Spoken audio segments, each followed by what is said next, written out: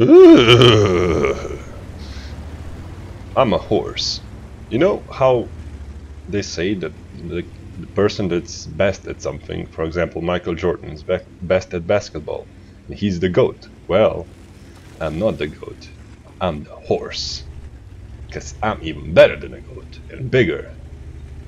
And I'm playing the most difficult, most strategic tank that you can play. Yes, I said tank, because obviously it's a tank. Most strategic point strategic tank that you can play in World of Tanks.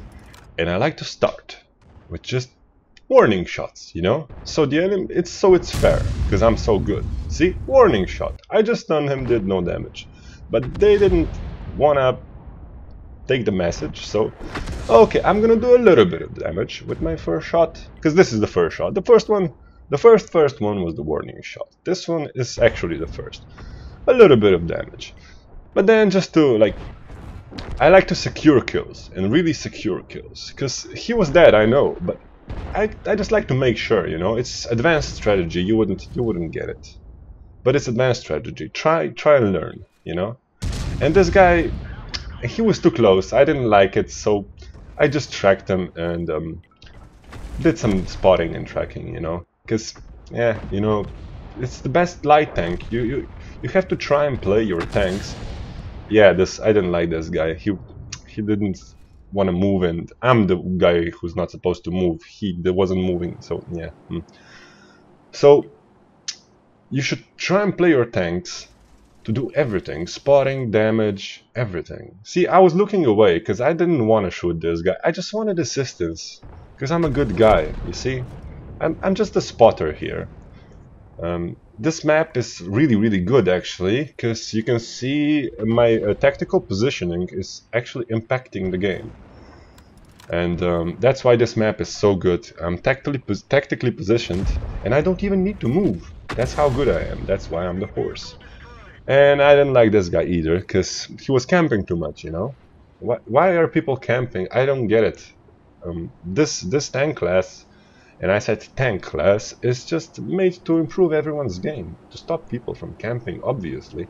So that's what I'm doing, spotting and brawling and anti-camping police and stuff like that.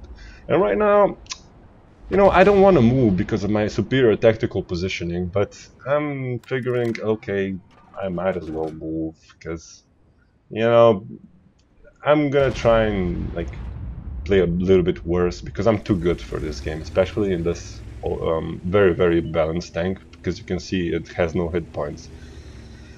And uh, now, the good Samaritan as I am, I'm gonna try and spot the Badger for my Skoda teammate, because he's trying to 3-mark his Skoda, and uh, I said I'll spot, I'll make him turn so you can farm him. But this Badger is, I don't know, didn't he get the memo? He's He doesn't want to turn. So I said, fuck it, okay, I'll oblige. And um, yeah, I'm just gonna...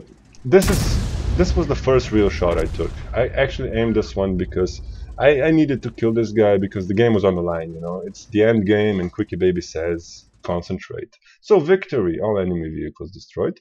And I got all the important badges, like arsonist and um, spotter and stuff like that. I was first, of course, as usual.